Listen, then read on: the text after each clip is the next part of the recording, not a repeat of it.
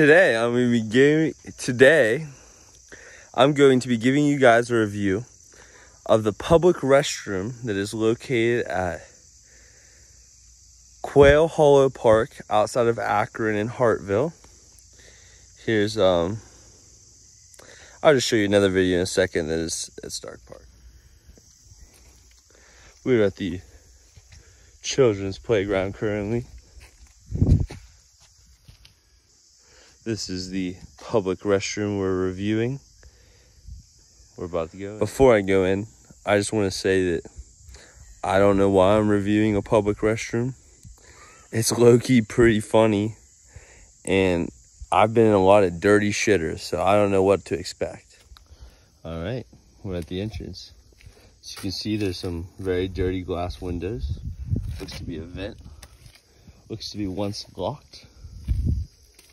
What the other side looks like. Seems to be like some paint dots or something. Seems to be a spider access point. Let's go in.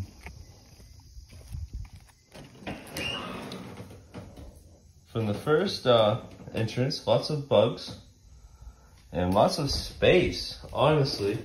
This looks like the type of place a bunch of Akron dopeheads would be glad to shoot up in. Lots of space, lots of space. Wow, honestly, a very nasty, disgusting toilet. Okay. But I've seen a lot dirtier.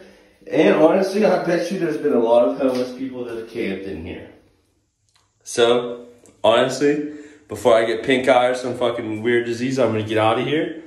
Um, but from my personal experience, um, I would never in my life go number two in this restroom.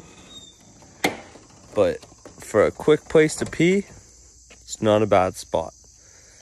Um, I'm gonna kind of give you one more view of the inside, and uh, I'm gonna say it's rated 10 for stinky, rated 10 for space, and rated 4 for hygiene. I'll show you one last time.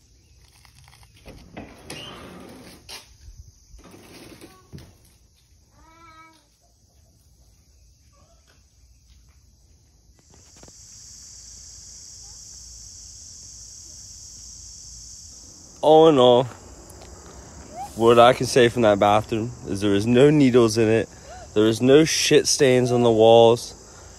And it seems to be the only people that really are in this park are old people. So I'm gonna give that restroom a six out of ten because it's spacious. It had it was stinky, but it was spacious. I just remembered. I don't know if there was toilet paper in this restroom. Let's find out.